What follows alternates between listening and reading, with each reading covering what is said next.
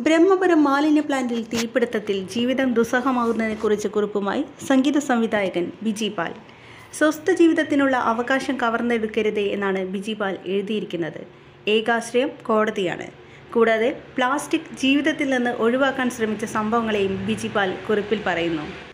ഒരു പാഴ്യുദ്ധത്തിന്റെ ഇരുപതോളം വർഷങ്ങളായി കാണും. പ്ലാസ്റ്റിക് ഭാവിയിൽ ഉണ്ടാക്കിയേക്കാവുന്ന ഭയാനക വിപത്തിനെക്കുറിച്ച് ആകസ്മികമായി ഒരു പഠനം വായിക്കാനിടവന്നു അന്നു മുതൽ അനാവശ്യ പ്ലാസ്റ്റിക് എങ്ങനെ ഒഴിവാക്കാം എന്ന ശ്രമവും അതിന്റെ പേരിലുള്ള ആഭ്യന്തര കലഹവും തുടങ്ങി.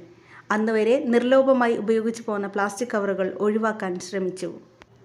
പച്ചക്കറികൾ വാങ്ങാൻ തുണിസഞ്ചികൾ പല പാന്റുകളുടെയും കാലുകൾ സഞ്ചികളായി രൂപാന്തരപ്പെട്ടു. സ്വാഭാവികമായ ഒഴുക്കിൽ അമ്മ കടയിൽ നിന്ന് കൊണ്ടുവരുന്ന പ്ലാസ്റ്റിക് കവറുകൾ നീണ്ട ക്ലാസുകൾക്കൊടുവിലും വാഗ്വാദങ്ങളിലും കുറഞ്ഞു വന്നു. പ്ലാസ്റ്റിക് മണ്ണിൽ ചേരില്ലെന്നും കത്തിച്ചാൽ ക്യാൻസറിന് കാരണമായ പലവിധ കെമിക്കലുകൾ പുറപ്പെടുവിക്കുമെന്നും ഒരു തലമുറ കാലക്രമേണ രോഗാതുരമാകുമെന്നും പഠിപ്പിച്ചു. തുണിക്കടയിൽ പോയാൽ പ്ലാസ്റ്റിക് കുറയാണെങ്കിൽ അതൊഴിവാക്കി തുണികൾ അങ്ങനെ തന്നെ പൊക്കിക്കൊണ്ടുവന്നു. ഇത് കണ്ട് കടയിലുള്ളവർ ചിരിക്കുന്നതും കണ്ടിട്ടുണ്ട്. അവൾ എന്നും കൂട്ടുനിന്നു. കുട്ടികൾ പ്ലാസ്റ്റിക് കളിപ്പാട്ടങ്ങൾ കൊണ്ട് കളിച്ചിട്ടേയില്ല. ബന്ധുക്കളുടെ കുട്ടികൾ കളിപ്രായം കഴിയുമ്പോൾ അവരുടെ കളിക്കോപ്പുകൾ തരുന്നതൊഴിച്ചാൽ ഉത്സവപ്പറമ്പിൽ കൗതുകമുള്ള കളിപ്പാട്ടങ്ങൾ ചൂണ്ടി അച്ഛ ഇത് പ്ലാസ്റ്റിക് ആണോ? എന്ന് മൂന്നാം വയസ്സിലെ ദേവൻ ചോദിക്കുമായിരുന്നു. ദേക്കുട്ടിയായപ്പോൾ ആ ചോദ്യം പോലും ഒഴിവാകുന്നത്ര സ്വാഭാവിക ജീവിതമായി കഴിഞ്ഞു.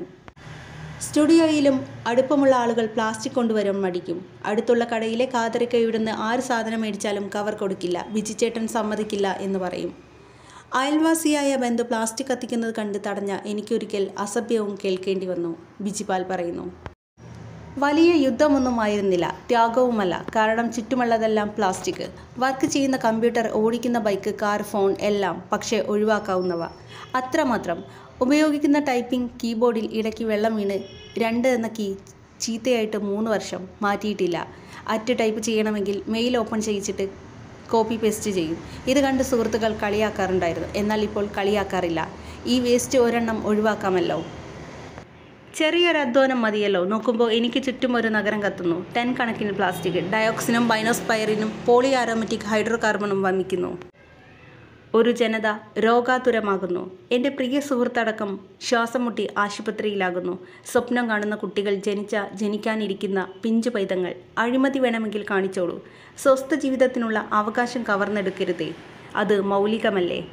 ഒരു പ്രശ്നവുമില്ലെന്ന് അധികാരികൾ പറയുന്നു. ശാസ്ത്രം അതല്ലല്ലോ പറയുന്നത്. ഏകാശ്രയം കോടതിയാണ്. കോടതി ഇടപെട്ട് യുദ്ധകാലാടിസ്ഥാനത്തിൽ വേണ്ടത് ചെയ്ത് മുൻകൈ എടുക്കുമെന്ന് നമുക്ക് സ്വപ്നം കാണാം. ബിജിപാൽ പറയുന്നു.